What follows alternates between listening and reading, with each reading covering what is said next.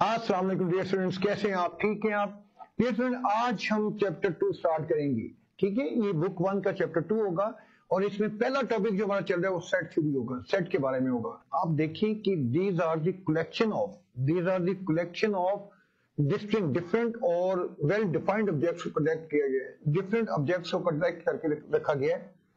जैसे यहाँ बुक्स को पहले, आप देखें, यहाँ पे बुक्स को इकट्ठा किया होता डिफरेंट बुक्स को इकट्ठा किया होता। ठीक है? यहाँ से ग्लासेस को इकट्ठा किया, यहाँ ग्रेप्स को इकट्ठा किया हुआ है, यहाँ पे बर्तन को इकट्ठा किया हुआ है तो ये जो and well defined objects is called set different चीज़ों को इकट्ठा कर देंगे तो सेट कहते हैं आप, ठीक है? फॉर एग्ज़ाम्पल देखें, हमारे पास एग्ज़ाम्पल है जी, देखें कलेक्शन ऑफ़ बुक्स अभी मैंने आपको दिखाई बुक्स को इकट्ठा किया डिफरेंट बुक्स को इकट्ठा किया होता। स्ट्रिक्स स्ट्रिक्स को इकट्ठा कर लें, ठीक है, वो भी एक डिफरेंट चीज़ों को इकट्ठा कर लेंगे, एक सेट कहलाएगा वो। जैसे आप ग्रेप्स को हमने देखा था, इकट्ठे किए हुए था ठीक है? या आप डिनर सेट आपने देखा, ये तमाम ये सेट की एग्जांपल्स हैं, ये एसेट की एग्जांपल्स हैं, ठीक है? इन सेट जब आप डिफरेंट चीज़ों इकट्ठा करके, इकट्ठा कर लेते हैं डेट इज़ अ सेट अब देखिए, हमारे पास जो है नोटेशन का पता होना बहुत ज़रूरी है आप सेट के लिए, क्योंकि सेट्स सेट जो है ना आप स्टार्ट कर रही हैं तो वैसे तो बहुत इसकी थ्योरी बहुत डिटेल से है। लेकिन हम आपको वो करवाएँगे जो आपके इंटर लेवल तक है, वही हम आपको बताएँगे। ठीक है, इसको तो बड़ी डिटेल है, ये यूज़ नहीं होती, बल्कि ब्रैकेट आपकी ये वाली ब्रेसिस ऐसी कहती है। ब्रेसिस यूज़ होती है, ठीक है? और एलिमेंट हमेशा स्मॉल लेटर में लिखे जाते हैं। जैसे हमारे पास देखेंगे ये ब्रेसिस यूज़ हुई है, ठीक है? और एलिमेंट जो अंदर जो जो आपकी मेंबर्स होते हैं, उन्हें एलिमेंट्स कहा जाता है। किसी भी सेट के मेंबर उन्हें एलिमेंट्स कहते हैं। एलिमेंट हमेशा स्मॉल लेटर्स में लिखी जाती है। और सेट को हमेशा कैपिटल लेटर से नोट किया जाता है। जैसे मैं कहता हूँ, मेरे पास एक सेट है बी जो कि वन टू थ्री फोर ये आपका एक सेट आ गया। ब्रेसिस में लिखेंगे ठीक है? ब्रेसिस में लिखेंगे तो ये वन टू थ्री फोर जो है, ये इसके एलिमेंट्स कहलाएँगे। ये एलिमेंट्स के सेट को हमेशा कैपिटल लेटर से नोट करते हैं। जब भी कुछ सेट लिखेंगे X is equal to A B C तो कैपिटल लेटर से आप लिखती हैं कैपिटल लेटर से लिखते सेट को डिनोट करते हैं। और अंदर जो बेसिस सेट को लिखा जाता है, उसके अंदर जो मेंबर ताकि हम अभी इनिशियल स्टेज में थोड़ी बेसिक सीरियल देखते जाए फिर हम आराम से अपना कंप्लीट काम करेंगे। और आपके क्वेश्चन देखिए आराम से होते चले जाएँगे एग्जांपल्स कोई प्रॉब्लम नहीं आएगी। हम सबसे पहले देखते हैं जी, इसमें सेट में जो पहली प्रॉपर्टी कहती है ऑर्डर ऑर्डर का कोई रोल नहीं होता, कोई इंपॉर्टेंट नहीं है। ऑर्डर कोई इंपॉर्टेंट नहीं होता। ऑर्डर मीन के आगे पीछे एलिमेंट्स हो तो कोई फ़र्क नहीं पड़ता। ठीक है? जैसे ये देखिए मेरे पास है जी ए ई आई ओ यू या इसी को ई ओ आई और ए आई लिख दिया ई ओ यू ए आई आगे पीछे कर दिया। लेकिन सेम सेट सेट पे कोई फ़र्क नहीं पड़ेगा। सेट वैसे ही रहेगा। ऑर्डर में कोई आ, आगे पीछे करने में कोई फ़र्क नहीं पड़ता। और एक और चीज़ आपको बताता चलूँ कि सेट के मेंबर्स कोई भी चीज़ हो सकती है। जैसे मैंने ग्लास भी एक सेट हो गया। छह छह मेंबर्स का सेट हमने देखा था। बारह का भी हो सकता है। डिनर सेट देख लिया। बुक्स देख ली। बुक्स अगर दस रखे दस मेंबर्स उसके हो गए। तो वो कभी रिपीट नहीं होते। जैसे मेरे पास एक सेट है A one two two three ये दो दफ़ा रिपीट नहीं होंगे। एक दफ़ा लिखा जाएगा। मेंबर कभी भी रिपीट नहीं होते। सेम मेंबर कभी भी रिपीट नहीं है। ये इस तरह नहीं, इसको इस तरह लिखा जाएगा। वन टू और थ्री तो मेंबर कभी भी रिपीट नहीं होते। तो ये बड़ी इंपॉर्टेंट चीज़ें हैं जो आपको मैं बता रहा हूँ। सेट स्टार्ट करने से पहले आपको बता रहा हूँ कि ये चीज़ें जब हम जेन में रखेंगे तो आप देखेंगे हमारे लिए सेट फिर बड़ा इजी होती चली जाएगी। मेथड को पहले तो देखते हैं कि एक सेट को कितने तरीकों से डिस्क्राइब किया जा सकता है। तो डियर स्टूडेंट्स याद रखना कि किसी भी सेट को तीन तरीकों से डिस्क्राइब किया जा सकता है। तीन तरीकों, तीन मेथड है आपको डिस्क्राइब करने के। कौन कौन से, वो मैं आपको बताता हूँ।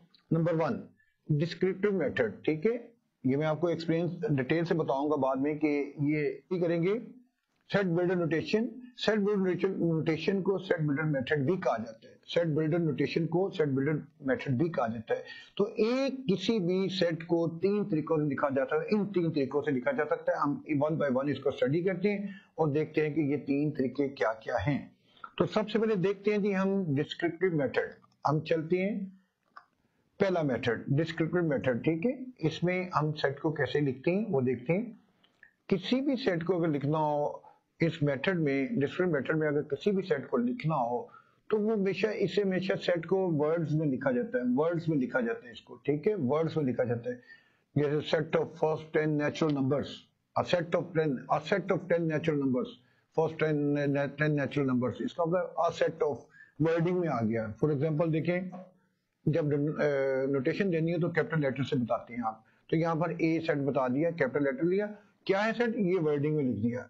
दिस मैटर इस तरीके से लिखने को हम कहते हैं डिस्क्रिप्टिव मैटर इस तरीके से लिखने को हम कहते हैं डिस्क्रिप्टिव मेथड कहा जाता है, ठीक है? कि जो वर्डिंग में लिख दिया जाता है। हमें पता चल रहा है कि set of natural numbers less than six six और लेस देन फाइव तक है, ये हमारे होंगे, ठीक है? तो वर्डिंग में लिख दिया, बजाय कि आप उसको बनाने। फिर उसके बाद देखिए बी एक सेट लेते हैं। वो भी कैपिटल लेटर में डिनोट किया गया। ठीक है कि ये जब भी सेट को लिखा जाता है कैपिटल लेटर्स यूज़ होते हैं उसको उसकी नोटेशन के लिए। अब हमने इसको वर्डिंग में लिखे सेट कौन सा set whole number less than ten तमाम होल नंबर जो टेन से लेस लेस है टेन से लेस लेस है। ठीक है? तो जो वर्डिंग में लिखा जाता है, वो डिस्क्रिप्टिव मेथड होता है। Right set of natural number less than six ठीक है? या set of whole number less than ten अच्छा अब दूसरे मेथड की तरफ़ चलते हैं। दूसरा मेथड क्या जी? देखें। टेबुलर मेथड ये टेबुलर मेथड भी यूज़ होता है ज़्यादातर जो आपकी सेट ऑपरेशन जब हम करते हैं तो ज़्यादातर सेट जो है ना वो टेबुलर फॉर्म यूज़ होती है। और वैसे भी ऑपरेशन यूज़ करने के लिए सेट चाहे वो, वो डिस्टल मेथड में दिया हो या आपको किसी और मेथड में दिया हो तो आपने टेबुलर फॉर्म में लाना ज़रूरी होगा। तो ज़्यादातर आपने बुक्स में यानी आप स्टडी भी करते हो आपको पता भी चलता है तो ये मेथड ज़्यादा यूज़ होता है। जब आपने ऑपरेशन यूज़ करने होंगे यूनियन इंटरसेक्शन वगैरह तब आप इस फॉर्म में ला के किया करेंगे वैसे आपके लिए मुश्किल होगा। तो ये देखिए जी ये क्या होता है? इसी इस, इस टेबलर मेथड में जो है ना लिस्टिंग करके ना आप इनक्रोज कर दिया जाता है ब्रेसिस के अंदर। ठीक है? ब्रेसिस के अंदर। जैसे हमारे पास फॉर एग्जांपल हमारे पास है जी ए एक सेट है। या मैं एक और लेता हूँ एग्जांपल कोई सेट है बी।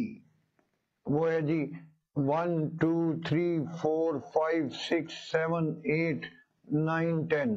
तो टेन तक आओ। लेकिन आपके ब्रेसिस में ये ज़रूर बंद होंगे।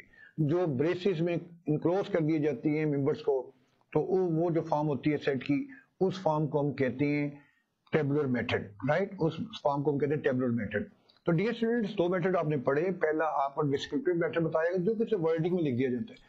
जब वर्डिंग लिख दिया जाएगा तो ऑपरेशन जब यूज़ करने तब भी हम हम उसको इस फॉर्म में लेके आएँगे। इस फॉर्म में ला उसको सॉल्व करना होगा। ठीक है? तो ये फॉर्म आपकी बहुत ज़्यादा यूज़ होती है, ये बहुत यूज़ करेंगे, जितने भी यूनियन इंटरसेक्शन वगैरह, जो आपका काम होगा टेबलेट फॉर्म में ला के हम उनसे सॉल्व किया करेंगे। राइट अब हम चलते तीसरे मेथड जो आखिरी मेथड है आपका, और वो वो क्या इसको सेट बिल्डर नोटेशन कह दें या सेट बिल्डर मेथड कह दें, एक ही बात है। तो ये आपको जब ये एक प्रॉपर्टीज़ फॉर्म में, क्या प्रॉपर्टी की शक्ल में लिखा जाता है, ठीक है? और ये कैसे लिखा जाता है? देखिए तमाम एलिमेंट जितने भी एलिमेंट है, उसको प्रॉपर्टी की सूरत में लिखा जाएगा। जैसे ये लिखा गया जी फॉर एग्ज़ाम्पल एग्ज़ाम्पल लेते हैं। हम कहते हैं जी फॉर एग्ज़ाम्पल मैं एक एग्ज़ाम्पल लेता हूँ। मैं कहता हूँ, एक सेट ऑफ़ एक सेट है A X such that X belong to real number ठीक है? और X greater equal to minus five less than equal to ten ठीक है जी?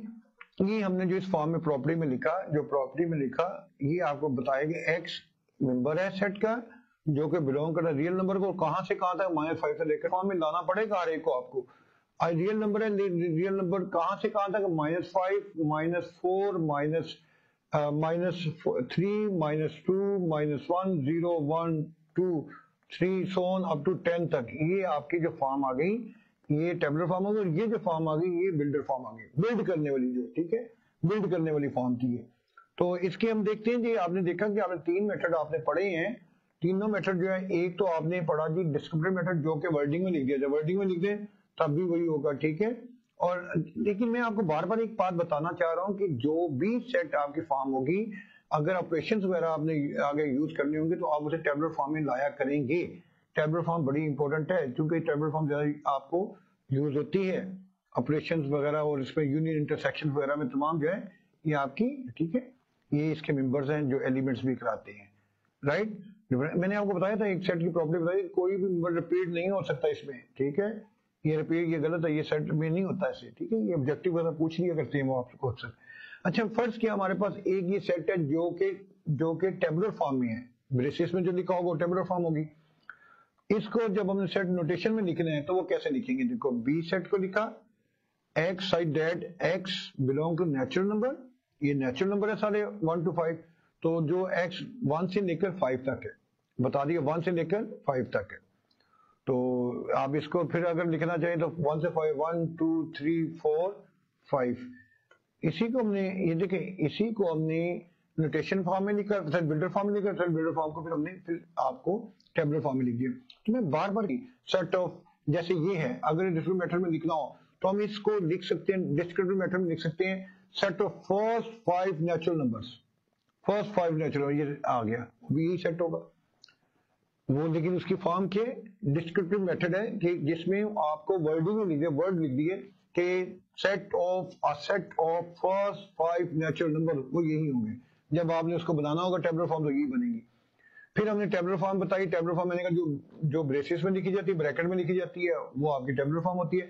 फिर आपके तीसरे आया, तीसरा जो था, वो मैंने आपको बताया कि वो नोटेशन फॉर्म में जो लिखा जाता है प्रॉपर्टी फॉर्म में जो लिखा जाता है, यानी प्रॉपर्टी बनाकर notation X such X X belong to X such X belong to natural number और X lies between between one two five ठीक है? तो इस डियर स्टूडेंट्स हमने